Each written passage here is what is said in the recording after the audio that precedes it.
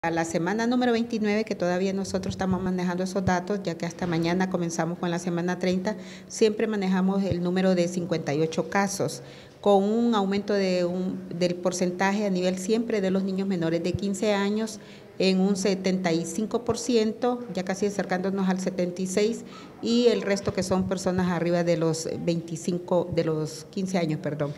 Eh, siempre dentro del grupo de menores de 15 años tenemos los de 5 a 9 años, que es donde más se está concentrando el mayor número de los, casos. Eh, una noticia muy buena es que estamos en estos momentos ya certificando los casos que han sido confirmados por laboratorio porque tienen que pasar a la certificación por un grupo de especialistas. En el caso de los niños tiene que estar un pediatra, el internista, eh, tiene que estar el epidemiólogo de la región y epidemiólogo de nivel central pero eh, eh, cada caso es, eh, no es tan fácil porque hay que revisar expediente, hay que revisar toda la investigación de campo que se ha realizado, luego que sea coherente el tratamiento, ver si es coherente también los exámenes que se le han realizado y luego poder proceder a decir si se trataba realmente de dengue o no. Y en, por el momento, en esta semana, solo hemos logrado eh, nada más certificar tres muertes que sí han sido ya confirmadas por laboratorio. Y, hay las condiciones de atención, porque llama, la, llama poderosamente la atención de que la gente al llegar a los hospitales se, se mueran. ¿Tienen condiciones los centros de salud, los hospitales para atender a esta gente enferma de dengue? Porque solo llegar... Y Lo que pasa es que cuando eh, llegan ellos, ya llegan en forma tardía Ah, eh, generalmente eh, eh, llegan cuando ya se han automedicado o cuando ya tienen tres o cuatro días de estar con fiebre. Siempre nosotros manifestamos que el primer día de fiebre, en cuanto como son los niños los más susceptibles que están en este momento, es que la madre inmediatamente les proceda a darle acetaminofén, abundantes líquidos, no refrescos de botella, ni darle tampoco lo que es dipirona, novalgina o darles aspirinitas, no se debe dar nada de eso y acudir a un establecimiento de salud para que el niño sea atendido. Ahí en esos momentos el niño está con signos de, está sin signos de alarma. Una vez que, como llegan tardíamente, entonces ya llegan con los signos de alarma. Entonces, cuando el médico tiene necesidad de hacerlo referir al hospital eh, para evitar que el niño desarrolle eh, lo que es ya el dengue grave, pero algunos de ellos ya llegan cuando tienen el, ya el cuadro grave y a veces es muy difícil poder hacer algo ya con estos niños. De las mujeres embarazadas eh, sí hemos tenido algunas personas de ellas que han sido afectadas eh, y han sido confirmadas también por laboratorio porque son de los grupos priorizados que nosotros estamos tomando en cuenta para que se les tomen tanto las muestras y que se envíen a nivel de laboratorio nacional son los menores de 15 años, las mujeres embarazadas y las personas que tienen una enfermedad de base, así como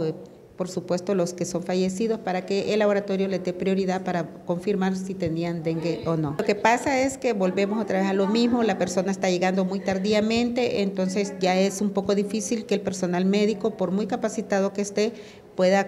eh, detener eh, el avance del cuadro clínico que tiene. Nosotros para estar seguros, porque muchas personas decían, e inclusive personal de salud estaba diciendo que el virus había mutado, que el virus tenía, había cambiado su forma molecular y enviamos eh, muestras al laboratorio de México, que es mm, certificado por los Centros de Control y Prevención de Enfermedades, CDC, y nos mandaron los resultados de que eh, el virus continúa igual, no, no, ha sufrido ningún cambio en su estructura molecular, por lo tanto, eh, además que es el virus que casi siempre está presente cuando hay epidemias. Entonces, por lo tanto, el virus es lo mismo. Lo que sucede es que el cuadro clínico en los niños es un poquito más e intenso. Y si las mamás empiezan a automedicarlo y a darle cuidados en casa antes de ir a visitar al médico, entonces eso es lo que agrava el cuadro más bien. Lo que pasa es que funcionan muchos factores, aparte de, lo, de los biológicos, que son los internos de cada una de las personas, como la parte de inmunológica, eh, tenemos los otros factores que son externos, eh, como son los criaderos de zancudos que se tengan en las casas. Si ustedes eh, pueden, como sé que se hacen ustedes seguimiento a través de los diferentes medios, ver qué noticias, pueden observar que hay muchas casas donde el personal de salud de la municipalidad y Copeco son los que están haciendo las limpiezas. En cambio, el dueño de casa solo está observando. O vienen y dicen cuando la señora ministra va a visitar un hospital y encuentra a la mamá del niño y le dice, fíjese, le dice que el, personal del ministerio no ha venido a limpiarme mi casa, les. Cuánto cosa que más bien cada quien es responsable de tener su vivienda limpia,